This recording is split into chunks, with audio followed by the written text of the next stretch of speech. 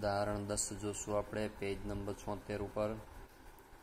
એ એક વિસ્તારની સમાન પ્રકારની વસ્તુનું ઉત્પાદન કરતી છ જુદી જુદી ફેક્ટરીના કામદારોની સરેરાશ માસિક આવક રૂપિયામાં અને ફેક્ટરીમાં ઓવર ટાઈમને લીધે થતી આવક રૂપિયામાં વચ્ચેનો સંબંધ જાણવા માટે નીચે મુજબ માહિતી મેળવવામાં આવે છે.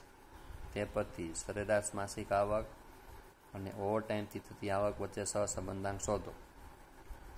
હવે એક્સ અને વાય તમને આપી દીધું છે. હવે જોવાના આંકડા કેવા છે? બહુ જ મોટા છે.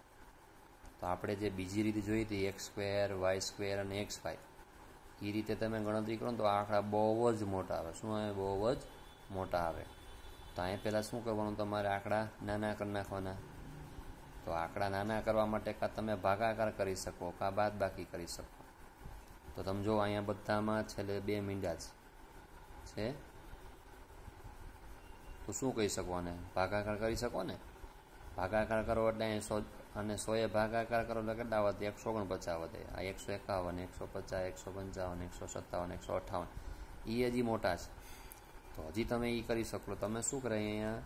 કે યુ બરાબર એક્સ ભાંગા સો. યુ બરાબર એક્સ ભાંગા સો અને માઇનસ. માની લો કે તમે આ ભાગાકાર કરો ને બધું, એટલે શું વધે અહીં એકસો ઓગણપચાસ, એકસો એકાવન, એકસો પચાસ, એકસો પંચાવન, એકસો સત્તાવન, એકસો અઠાવન. એ તો આપણને ખબર પડી જાય તો હજી નાની કરી નાખો. સૌથી નાની રકમ કઈ આવે? એકસો ઓગણપચાસ. તો એ તમે બાદ કરી નાખો. પહેલાં ભાગાકાર કરવાનો. પછી શું કરશો? માઇનસ. માની કે એકસો આ છે, ચૌદ હજાર નવસો. ભાંગા સો કરો ને એટલે એકસો ઓગણપચાસ આવે. એકસો ઓગણપચાસ માઇનસ એકસો ઓગણપચાસ શું થશે? જીરો થશે. પછી પંદર હજાર એકસો ભાંગા તમે સો કરશો ને પંદર હજાર એકસો ભાંગા સો. એટલે એકસો એકાવન વધશે. એકસો એકાવનમાંથી તમે જે છે આ એકસો ઓગણપચાસ છે એ બાદ કરી નાખો. એટલે કેટલા વધશે? બે વધશે. કેલ્ક્યુલેટર લઈ લેવાનું આપણે. પંદર હજાર ભાંગા સો. કારણ કે એક્સ આપ્યો ને એક્સ એટલે પંદર હજાર ભાંગા સો. એકસો પચાસ એકસો પચાસમાંથી એકસો ઓગણપચાસ બાદ કરશો એટલે કેટલા આવશે એક આવશે પંદર હજાર પાંચસો ભાંગા સો એટલે એકસો પંચાવન એકસો પંચાવનમાંથી એકસો ઓગણપચાસ બાદ કરશો એટલે કેટલા આવશે છ આવશે પછી પંદર હજાર સાતસો ભાંગા સો એટલે એકસો સત્તાવન એકસો સત્તાવનમાંથી એકસો ઓગણપચાસ બાદ કરશો એટલે કેટલા આવશે આઠ આવશે પંદર હજાર આઠસોમાંથી એકસો ઓગણપચાસ બાદ સોરી પંદર હજાર આઠસો ભાંગા સો એટલે એકસો અઠ્ઠાવન એકસો અઠ્ઠાવનમાંથી એકસો ઓગણપચાસ બાદ કરશો એટલે કેટલા આવશે? નવ આવશે. એટલે પહેલાં ભાગાકાર કર્યો પછી કર્યું? બાદ બાકી. તમે કોઈ પણ કરી શકો છો ની પછી વી લઈ લ્યો. કે વી બરાબર આ વાય તો તમે ભાગાકાર કરો તો સરખો નિયમ લાગુ પાડવાનો બધામાં શું લાવવાનો? સરખો નિયમ. કે આને ભાગાકાર કરો, પાંચે કરો પાંચે કરો પાંચે કરો પાંચે કરો પાંચે કરો, કારણ કે શૂન્ય અને પાંચ છે એટલે પાંચે તમે એને કરી શકો છો. તો હજી આંકડા મોટા આવે અહીંયા. કારણ કે ભાગાકાર કરો ને તો મોટા આંકડા આવે. એના તો આપણે પહેલાં શું કરીએ? માન કે પહેલાં તમે સૌથી નાની રકમ બાદ કરો. સૌથી નાની રકમ કેટલી છે? સો. અને પછી જે આવે ને, એને ભાંગા તમે પાંચ કરો. પહેલાં માઇનસ કરો. શું કરો? માઇનસ. પછી ભાગાકાર તો વાય એટલે સો. સો માઇનસ સો. ભાંગા પાંચ એટલે શું જે શૂન્ય થઈ જશે. એકસો પાંચ માઇનસ સો. એટલે કેટલા વધશે? પાંચ વધશે. પાંચ ભાંગા પાંચ એટલે કેટલા આવશે? એક આવશે. પછી એકસો પંદર માઇનસ સો, એટલે પંદર આવશે. પંદર ભાંગા પાંચ એટલે કેટલા આવશે? ત્રણ આવશે. પછી એકસો સાઠ માઇનસ સો, એટલે સાઠ આવશે. સાઠ ભાંગા પાંચ એટલે બાર આવશે. બસો વીસ માઇનસ સો, બસો વીસ માઇનસ સો કેટલા આવશે? એકસો ને વીસ. એકસો વીસ ભાંગા પાંચ કરશો એટલે કેટલા આવશે? ચોવીસ આવશે. પછી બસો પંચાવન માઇનસ સો, એટલે એકસો ને પંચાવન. એકસો પંચાવન ભાંગા પાંચ એટલે કેટલા આવશે? એકત્રીસ આવશે આ રીતે. હવે શું કરવાનો? યુ સ્ક્વેર કરવાનો. યુનો સ્ક્વેર. આ જે યુ આપ્યો આપણને સ્ક્વેર. શૂન્યનો સ્ક્વેર શૂન્ય. બેનો સ્ક્વેર ચાર. એકનો સ્ક્વેર એક. છનો સ્ક્વેર છત્રીસ. આઠનો સ્ક્વેર ચોસઠ. નવનો સ્ક્વેર એક્યાસી. પછી વીસ સ્ક્વેર કરો અહીંયા. શૂન્યનો શૂન્યનો સ્ક્વેર શૂન્ય. એકનો સ્ક્વેર એક. ત્રણનો સ્ક્વેર નવ. બારનો સ્ક્વેર એકસો ને ચુમ્માલીસ ચોવીસનો સ્ક્વેર પાંચસો ને છોતેર. આપણે કેલ્ક્યુલેટર ઉપયોગ કરી લેવાનો. એકત્રીસનો ત્રણસો ને એકસાઠ સોરી નવસો ને એકસાઠ. અને અહીંયા યુવી. યુ અને વી બેનો ગુણાકાર, શૂન્યનો ગુણાકાર શૂન્ય. બે એકુ બે, ત્રણ એકુ ત્રણ. બાર છ, બોતેર. ચોવીસ અઠા એકસો બાણું. એકત્રીસ ગુણ્યા નવ, બસો ઓગણએંસી. આ રીતે. સરવાળો કરવાનો. બધાનો શું કરવાનો? સરવાળો. અહીંયા ભાગાકાર કર્યા અને પછી માઇનસ કર્યા. અહીંયા માઇનસ કર્યા, પછી ભાગાકાર કર્યા. તમે કોઈ પણ કરી શકો. શું કરી શકો છો? કોઈ પણ તમે કરી શકો છો. એમાં ક્યાંય ભૂલ ન પડે તો દાખલો કેવો પડશે? સાચો પડશે તમે તમારે એમાં. હવે આ યુ જે છે, યુનો સરવાળો થશે. છવ્વીસ.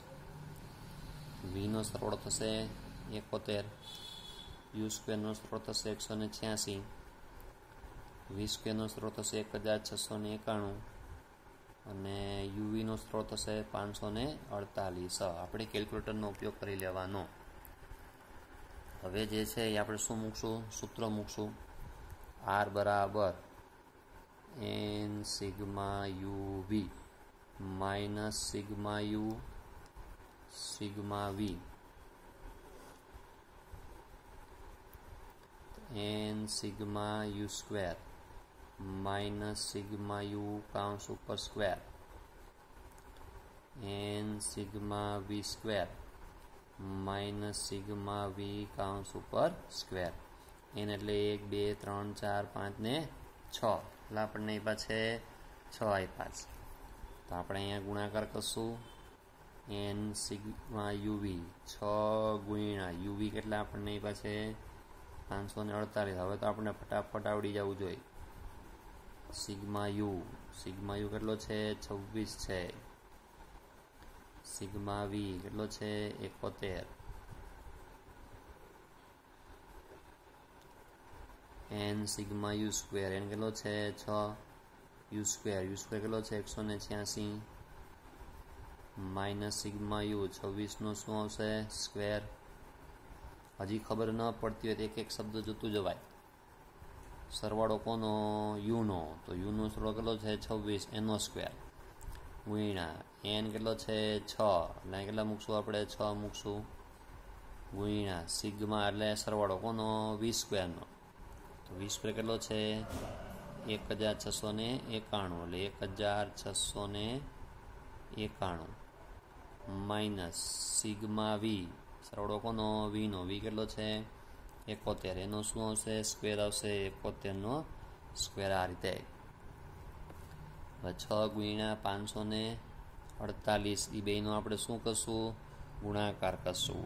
ગુણાકાર કરશું એટલે આપણે મળશે ત્રણ હજાર બસો ને અઠ્યાસી. છવ્વીસ ગુણ્યા એકોતેર કરશું એટલે માઇનસ એક હજાર આઠસો ને છેતાલીસ. પછી છ ગુણ્યા એકસો ને છ્યાસી એટલે એક હજાર એકસો ને સોળ. માઇનસ છવ્વીસનું શું કરશું? સ્ક્વેર કરશું એટલે છસો ને છોતેર.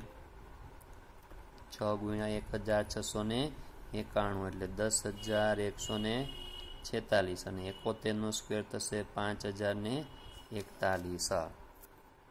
હવે આ બેની શું કરશું આપણે?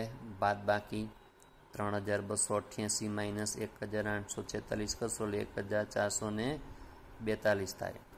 પછી એક હજાર એકસો સોળ માઇનસ છસો ને છોતેર, એટલે એ થશે ચારસો ને ચાલીસ થશે. પછી દસ હજાર એકસો છેતાલીસમાંથી પાંચ હજાર એકતાલીસ બાદ કરશો, એટલે પાંચ હજાર એકસો ને પાંચ આવશે. આ બેનો આપણે શું કરશું હવે? ગુણાકાર કરશું. ગુણાકાર કરશું એટલે બાવીસ લાખ છેતાલીસ હજાર બસો. હવે એનું શું લઈ લેવાનું? વર્ગમૂળ. હવે તો પછી આગળ જેમ આપણે કરીએ છીએ, એ રીતે આવશે હવે. એક હજાર ચારસો અઠ્ઠાણું પોઈન્ટ સાત હજાર ત્રણસો ને અઠ્યાવીસ. એટલે આનો જવાબ આવશે ઝીરો પોઈન્ટ છન્નું જવાબ આવશે. જવાબ હંમેશા કોની વચ્ચે આવશે? માઇનસ એકથી પ્લસ એકની વચ્ચે આવે. એટલે જવાબ તમારો ઘણી નવ્વાણું પોઈન્ટ નવ્વાણું ટકા શું કહી શકીએ સાચો કહી શકે તમારો. હવે જો ટેક્સ્ટ બુક જોશો ને તો ટેક્સ્ટ બુકની અંદર તમને યુ શું લીધો છે? આપણે અહીંયા એક્સ ભાઈંગા લીધા પહેલાં. એક્સ ભાઈંગા સો માઇનસ એકસો ઓગણપચાસ. એને શું લીધા છે? એક્સ માઇનસ પંદર હજાર ત્રણસો. એટલે માઇનસ પંદર હજાર ત્રણસો જે આપણને આપ્યા હતા, એને લીધેલા છે. અને ભાઈંગા શું કર્યા? સો કર્યા. એને ગણતરી કરી અલગ. આપણે પણ ગણતરી કેવી કરી છે? અલગ કરી છે. છતાં જવાબ કેવો આવી ગયો છે? સર સાચો આવી ગયો છે. એને વીમાં શું કર્યું છે? સો માઇનસ કરી. ઓલા એકસો ને સાઠ માઇનસ કર્યા છે અને ભાંગા પાંચ. આપણે કેટલા કર્યા છે? સો માઇનસ કર્યા છે અને પાંચ ભાંગા કર્યા છે. એટલે તમે કોઈ પણ રકમ ધારો, જેટલા વિદ્યાર્થીઓ હોય એ દરેક વિદ્યાર્થીઓ અલગ અલગ રકમ ધારે, તો એ જવાબ જો કોઈ ભૂલ ન કરો, તો જવાબ કેવો આવે? સાચો આવે. એટલે અહીંયા આપણે આ જે મેથડ છે, એનો વધારે પડતો લોકો ઉપયોગ કરતા હોય છે. કારણ કે આંકડા કેવા થઈ જાય? એકદમ નાના એટલે આંકડા નાના કરવા માટે તમે કોઈ પણ કરી શકો. ભાગાકાર કરી શકો, ગુણાકાર કરી શકો બાદ બાકી કરી શકો બધું કરી શકો. આગળ જે આપણે દાખલા જોયો હતો એ આગળ દાખલાની અંદર આપણે પહેલાં શું કર્યું હતું? ખાલી માઇનસ કર્યું હતું. અહીંયા શું કર્યું? ભાગાકાર કર્યો અને માઇનસ કર્યું. માઇનસ કરી ભાગાકાર, એટલે તમે ગમે એટલું કરી શકો એમ. એવું નથી ખાલી એક જ વખત કરી શકો. કોઈ પણ વખત તમે ભાગાકાર માઇનસ તમે કરી શકો. ખરા. બરાબર.